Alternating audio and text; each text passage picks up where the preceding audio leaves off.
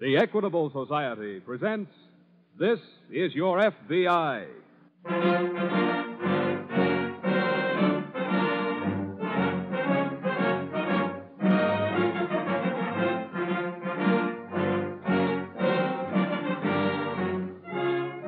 This is Your FBI, an official broadcast from the files of the Federal Bureau of Investigation, presented as a public service by the Equitable Life Assurance Society of the United States. To your FBI, you look for national security, and to the Equitable Society for financial security. These two great institutions are dedicated to the protection of you, your home, and your country.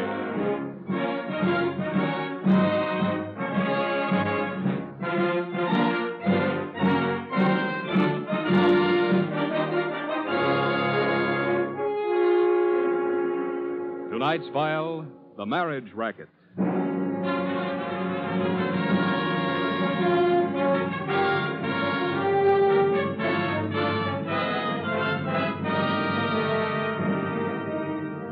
In the years that have just finished their parade into the history books, the people of the world became accustomed to the cruel reality of having the earth fertilized with the blood of millions of soldiers. Sudden violent death became the normal thing. The pages of every newspaper carried their mournful honor rolls. But that was war. That was a crime all of civilization was guilty of having committed. That was a crime the FBI could neither prevent nor solve. But now we've come upon a period of peace. A period when the FBI can and does prevent crimes. Above all others, it's most important that the FBI and all law enforcement agencies prevent one certain crime. Because once that crime has been committed, all that remains is catching and punishing the criminal. The victim is beyond saving. This crime is murder. Our story tonight takes us to a pleasant farming community in Iowa. Chris Newton, who owns 200 acres of the best land in the county, has just returned home from the city with a new wife. This is their first day together at home. Della? I'm in the kitchen, honey. Oh. Well, something smells good. Chicken With dumpling? with dumplings. Golly. You just get over there and wash up. Or everything's just about ready. Wait a minute, wait a minute. Huh? I I got something for you. Kind of like a surprise.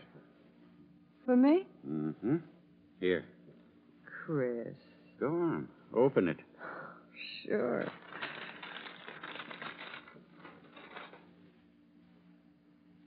Chris. It ain't much. Why, it's the most beautiful set of feathers I ever seen in my life. The man says you can wear them on your head or around your neck. it don't make no difference which. Oh, they're just beautiful.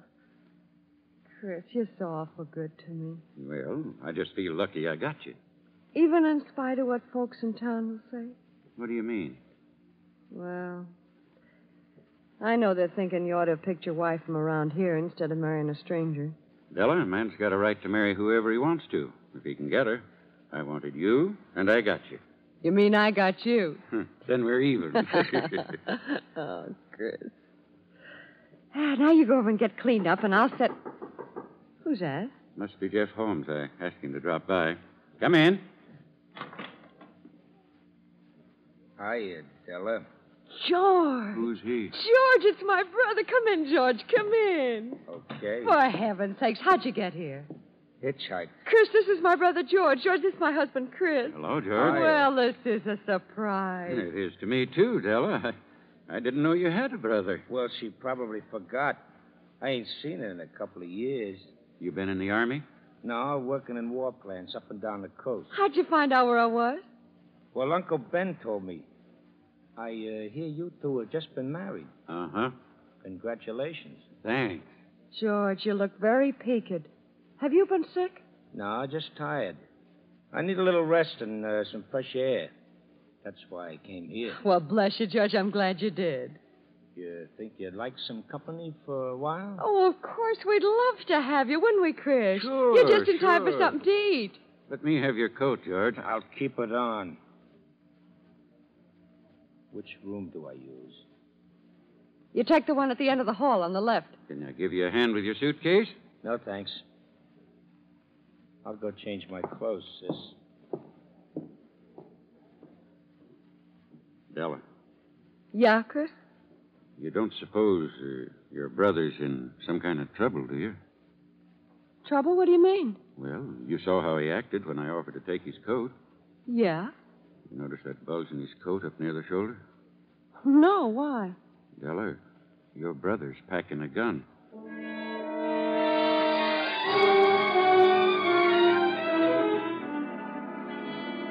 The smallest clue may lead to solving the biggest crime. And so the FBI is always careful to check every lead supplied them by alert local police forces. The day that Della's brother George came to visit his sister, the police in Des Moines picked up an abandoned car bearing an Oregon license plate. Checking, they found that the car had been stolen the week before in Portland. The Des Moines office of the FBI was notified, and within a matter of minutes, special agents Adams and Kendall were on the scene, going over the car with a fine tooth comb. I say, whoever abandoned the car intended staying in the vicinity a while. What do you think, Bob? Uh huh. You find anything in the back?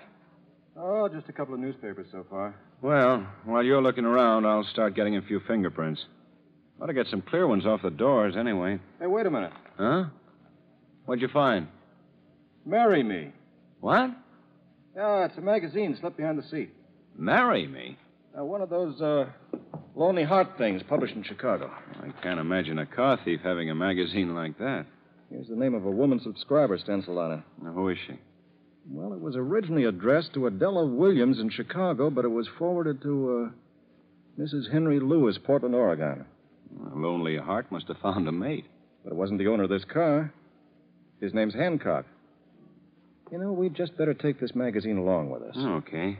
Uh, help me get a few fingerprints, Bob. We'll get them off to Washington.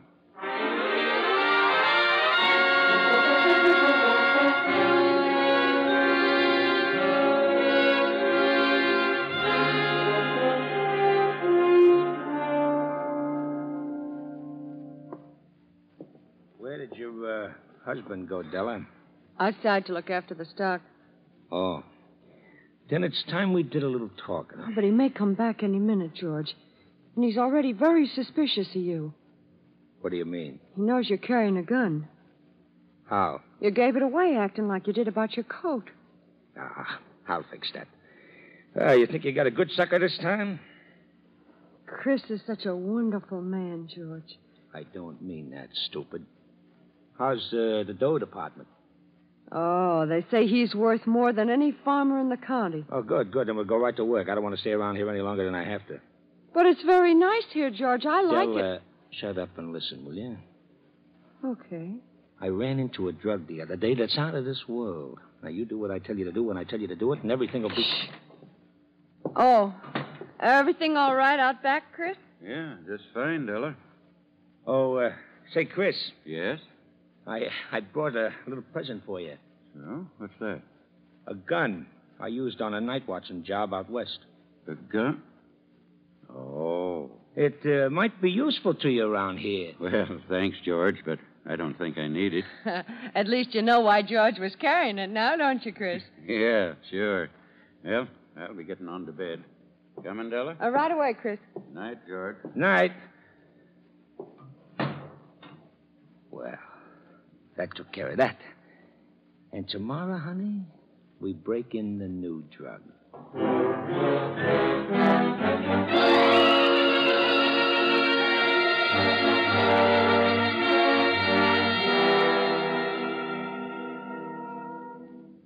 Sorry I took so long for lunch, Bob.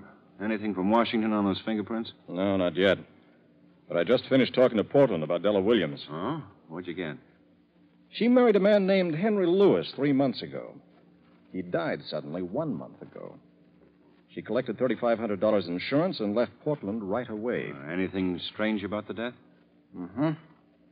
Overdose of uh, sleeping tablets. They let her go as a suicide. Ah. But what's that got to do with the stolen car? Della Williams met Lewis through that Lonely Heart magazine. Yeah? And Della has a brother who lived with him for a time. What's his name? They didn't know.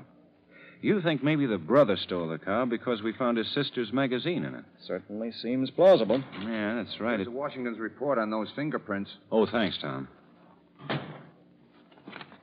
Well, what's the verdict? You hit the jackpot, Bob. How? The man who stole the car is George Williams. Served two years for robbery. Last lived with Sister Della Williams in Chicago. He's 35, 5 feet 10, and. Bob, Yeah? Maybe Lewis didn't commit suicide after all. Listen to this. Williams and sister suspected of murder in connection with death of her four former husbands, but not enough evidence was ever found to warrant their indictment. Hmm. Marry and murder for profit. Yes. And if that's their business, they've probably already started on the next victim. And since Williams abandoned his stolen car in Des Moines, their next victim must be somewhere in this area. Right. If we want to save somebody's life, Bob, let's get busy.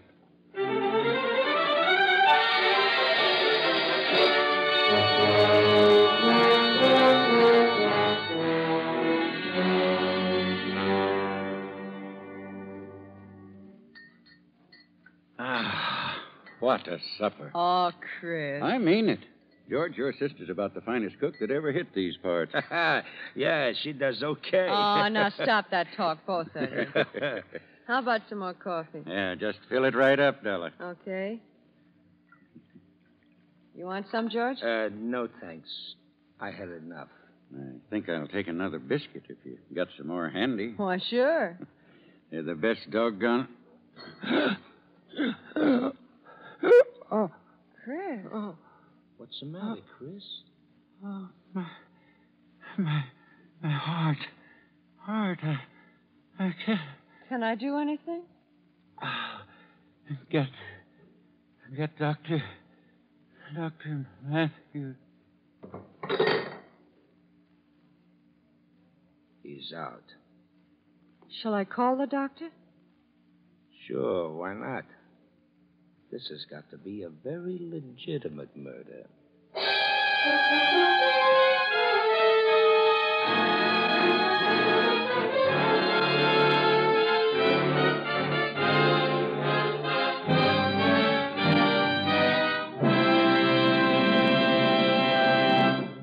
We momentarily close the Equitable Society's presentation of the Federal Bureau of Investigation file on the marriage racket.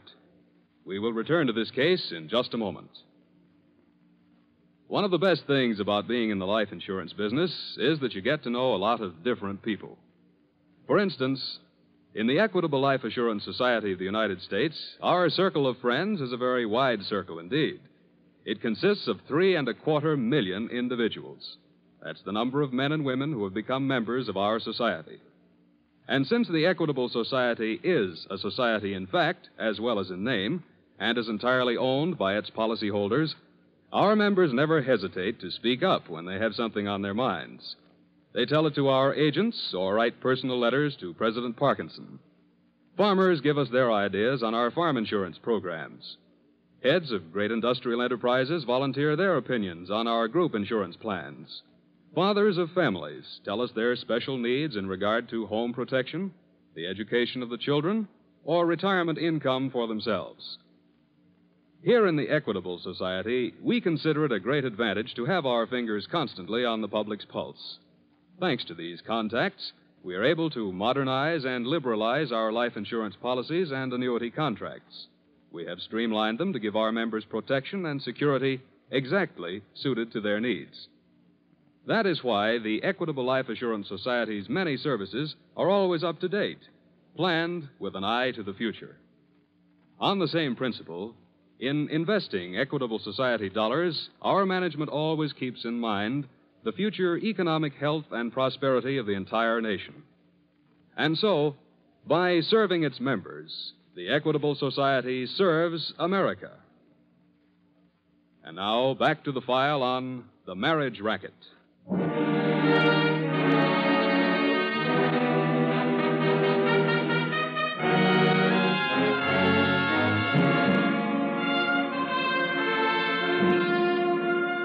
George Williams, with that sublime ego which drives all criminals to the belief that they're too smart for the police, had stolen a car and driven it across a state line.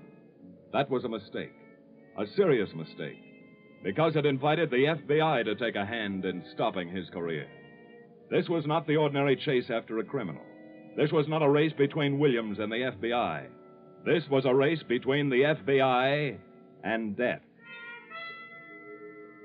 On the Newton farm, Dr. Matthews has been treating his patient, and now he emerges from the bedroom.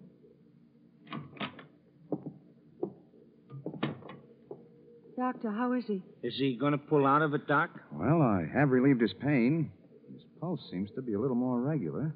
Then he's going to be all right. I think he'll get over this attack.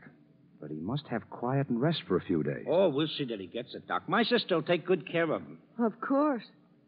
Chris is such a wonderful man. There's not a finer man in the whole community, Mrs. Newton.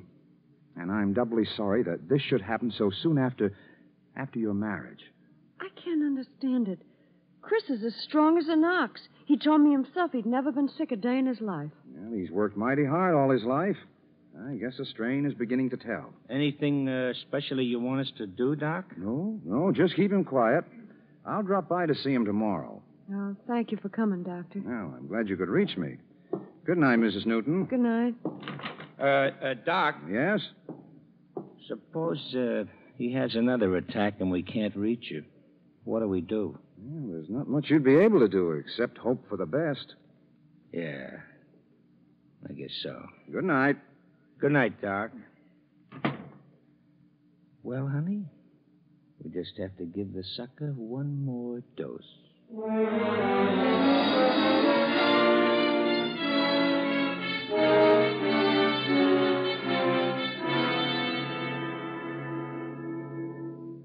Bob, Yeah? any police reports on that alarm we put out on Williams yet? No, and time is ticking away fast. Yeah, I know. If marry and murder is their game, we're racing against the death of their next victim. If we haven't already lost the race. Well, we're not getting anywhere waiting for reports. Hey, wait a minute. Yeah? Why haven't we thought of it before? What? That Lonely Heart magazine. If they contacted their other victims through the magazine. Give me the phone. Calling Chicago? Yeah. I'll get the editor to give me a list of all the men in this area who've been trying to find a bride through the magazine. Uh, hello, operator. Uh, get me the editor of a magazine published in.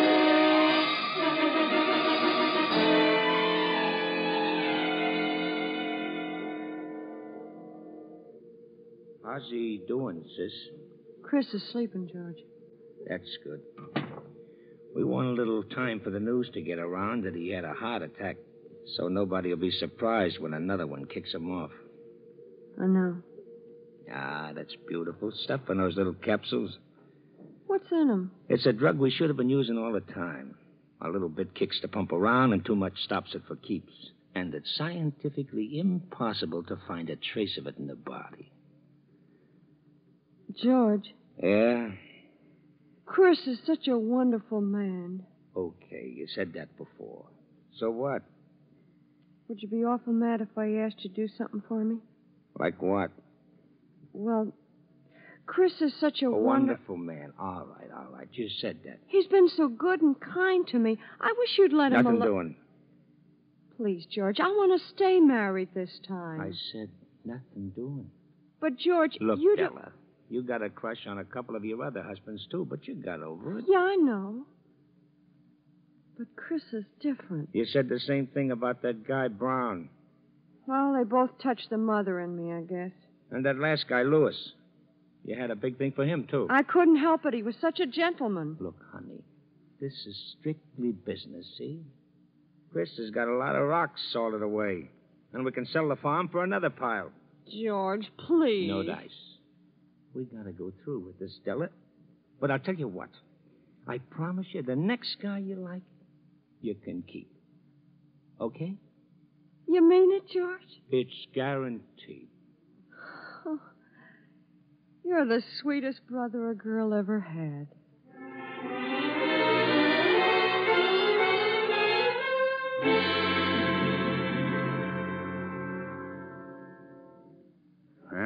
are, Bob.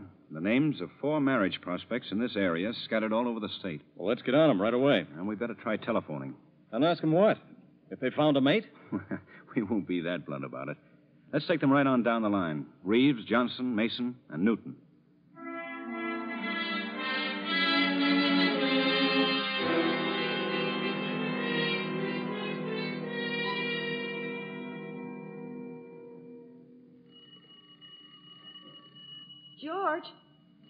George. Yeah? The telephone's ringing. What'll I do? Leave it alone. No, wait. I'd better answer it. You stay here.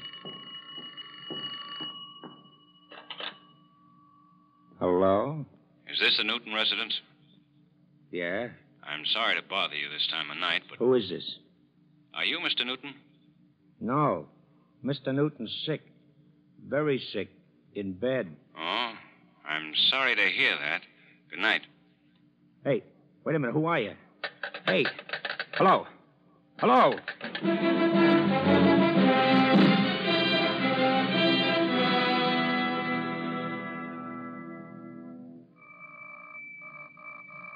All right, all right. Keep your shirt on. I'm coming. Hello. If you want Dr. Matthews, he's not here.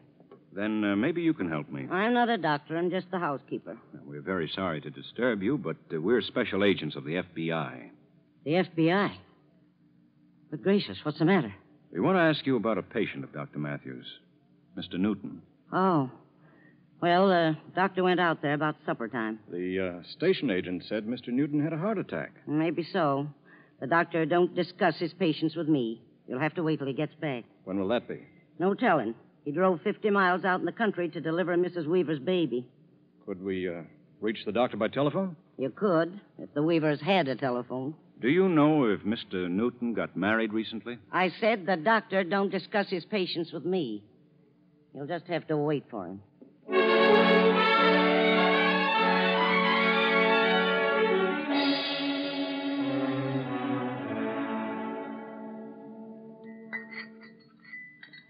You got his tray ready, sis?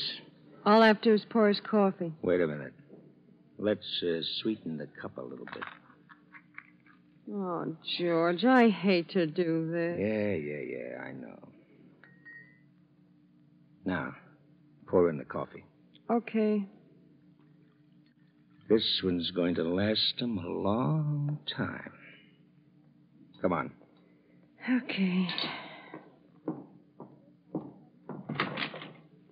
Chris, honey, I got something to eat for you. Thanks, Della.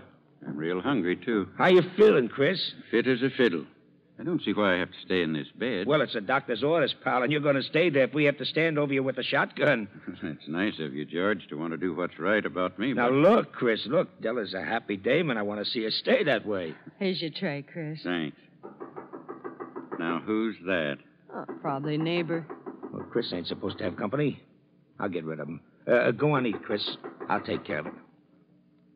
Okay, okay, okay. I'm coming. I'm coming. Hello. Are you Mr. Newton? Mr. Newton's sick and can't have company. I don't think it'll be necessary for us to see him. Then what do you want? I think we want you, Mr. Williams. Huh? We're special agents of the FBI. Where's your sister? I don't know what you're talking about. You... No, you... No, drop that gun. George! George, who are these men? We're special agents of the FBI. Huh? You and your brother are under arrest. Oh, dear. Where are you going? I've got to throw out some coffee.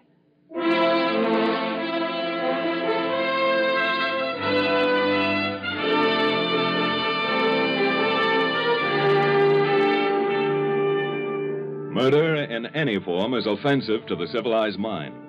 We are incensed by the killing committed in a fit of passion, by the bank robber's killing of an innocent teller, by the brutal murder committed by the mental or moral degenerate. But there are no words to describe our revulsion for the persons who commit deliberate cold blooded murder for profit. Investigation into the deaths of the former husband of Della Williams proved conclusively that murder had been committed in each case. Thanks to the speed with which the FBI worked, the life of Chris Newton was saved. And George Williams and his sister were tried by local authorities and convicted of murder in the first degree. In the long roster of criminals, they were fairly unimportant people.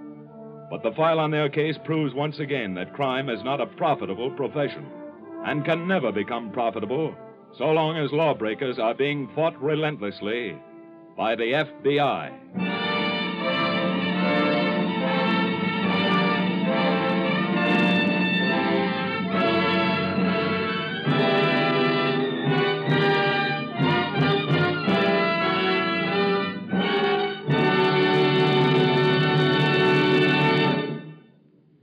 About next week's case in just a moment.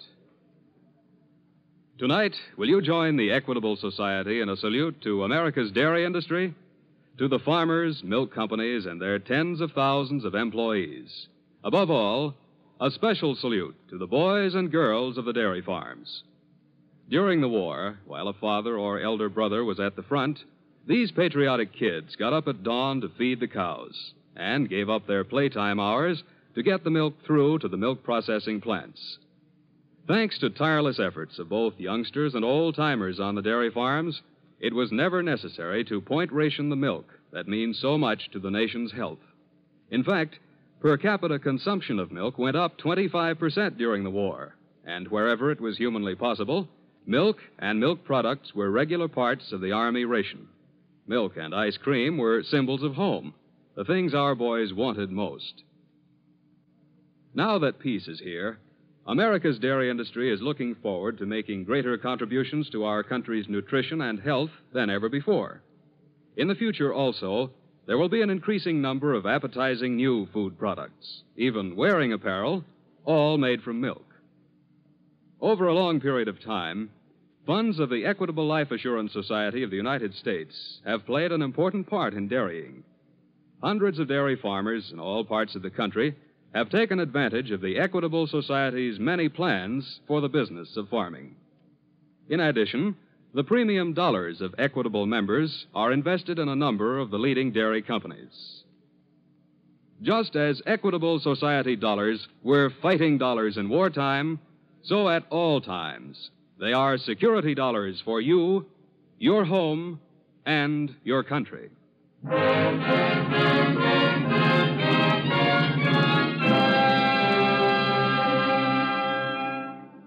Next week's colorful and exciting story will be based on the Federal Bureau of Investigation file on the serviceman swindle.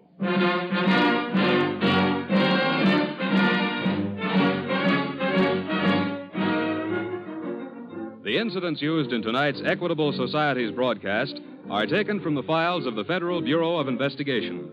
However, all names used are fictitious, and any similarity thereof to the names of persons living or dead is accidental.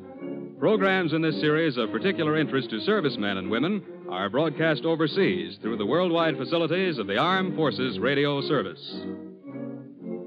Tonight, the music was under the direction of Leith Stevens. The author was Frank Ferries, and your narrator was Reed Hadley, who appears through the courtesy of 20th Century Fox. This is Your FBI is a Jerry Devine production. This is Dick Joy speaking for the Equitable Life Assurance Society of the United States and inviting you to tune in again next week at this same time for This is Your FBI. Friends, for your unfaltering courage during the war years, you've won and you deserve your country's highest citation. Through the days of conflict, your contributions were limitless and your victory decisive. But the only complete victory is victory with responsibility, and to that end our work continues. Every individual in America has a stake in the job of converting to peacetime economy as smoothly and as quickly as possible. Soon, price controls may no longer be necessary to our economic well being. But until that time, go on doing your level best. Spend sensibly and avoid buying goods which are still in short supply. Cooperate with the remaining price and rationing controls. And if a question arises over any point of cost, refer it immediately to your Office of Price Administration. America's war against inflation is still raging. Remember, the most important single contribution we can make to world prosperity and peace is a stable economy here at home. This is the American Broadcasting Company.